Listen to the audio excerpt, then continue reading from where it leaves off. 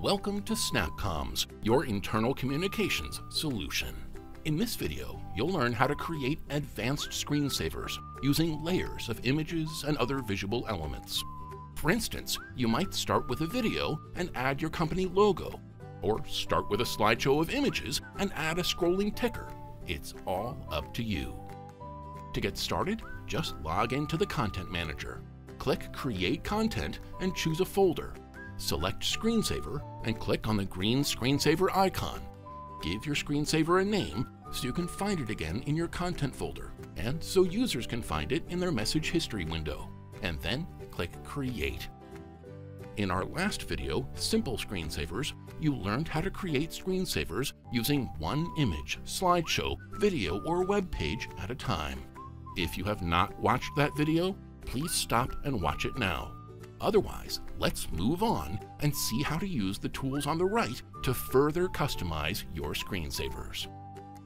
Perhaps you have a simple video screensaver and you'd like to add a logo to identify your brand. Just click Image on the right and drag the tool onto the canvas about where you'd like the image to go. You'll be prompted to upload a new image or select an image you've already uploaded. And if you like, you can also add a link. Next, click on the Size and Location tab for more options. If you uncheck Lock Aspect Ratio, you can stretch your image however you like. But I don't want to distort my logo, so I'll click Reset and check the box to lock in my logo's original proportions. When you're ready, click Done. Your image appears on the canvas on top of the background video, along with a set of tools. You can click on the dots and move your image. Click on the arrow and change its size. And you can also delete your image, make a copy, or click the gears to go back to the menu. When you're finished, click anywhere else on the page to hide these tools. And now we're ready to publish our screensaver. As you can see, whether the user chooses to play the video or not, our logo will be right here the whole time. Or maybe you've created a simple slideshow screensaver and you'd like to add a scrolling ticker. As before, just drag the tool onto the canvas and you'll be prompted to choose some basic settings. How fast would you like your text to move across the screen?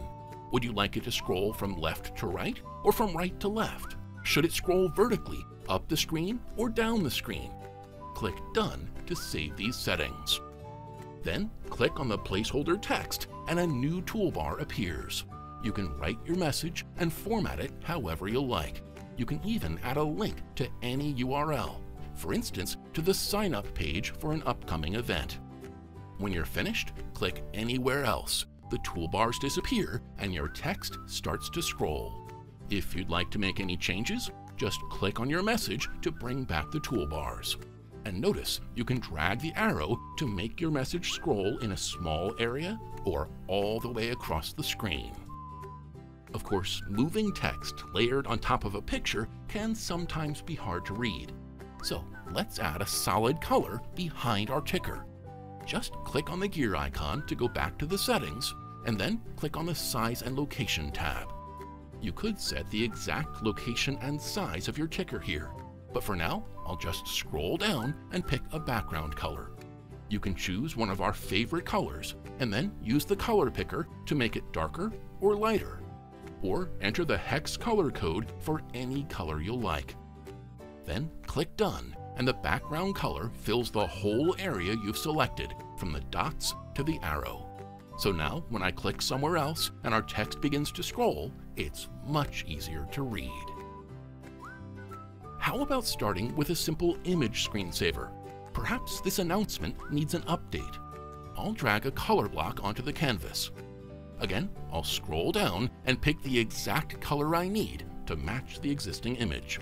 Then I'll click Done and I'll position the color block to hide the old date and time.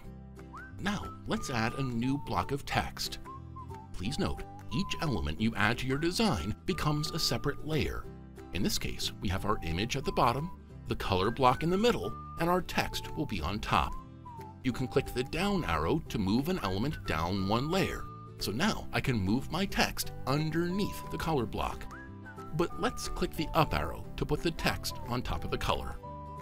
Just like we did with the ticker, I'll select the placeholder text, write a new message, and use the toolbar to format it.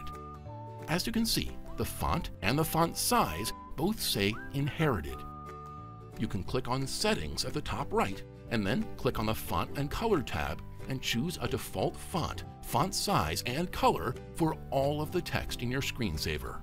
Just be sure to click Done to save your changes. These new defaults have already been applied to the text I just added, and if I add another block of text, it will use those same settings. But don't worry, you can still select a text block, highlight the text you want to format, and make any changes. For instance, I'll make this text white. While we're here, let's also add a slideshow to this screensaver. I'll add some images from a similar event last year, select a transition from one slide to the next, and decide how long a slide should last. And I'll also click on the Size and Location tab, scroll down, and choose a background color.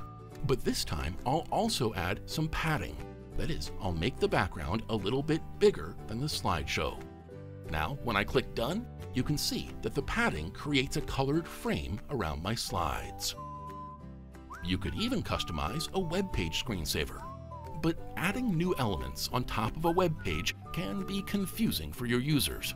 So let's go to the background section on the right and click Clear to remove the web page. And now we can add a different background instead. For instance, a solid color. As before, you can choose one of our popular colors, or use the color picker, or just enter the hex color code for exactly the color you want. Now, let's add that same web page using the tool on the right. Just enter the URL and click Done, and the page appears in a window instead of covering the whole canvas. Just drag the arrow to find a shape and a size where the web page looks good. See the difference? We have the same web page and the same image, but our screensaver doesn't look nearly so cluttered. In the same way, you can add a video to your design. Just choose YouTube or Vimeo and fill in the video ID. Remember, on Vimeo, that's the number after the slash, and on YouTube, it's the code after V equals. Then I'll click Done, and your video appears on the canvas. Just be careful resizing videos. If you change your window's proportions, you'll end up with black bars like these.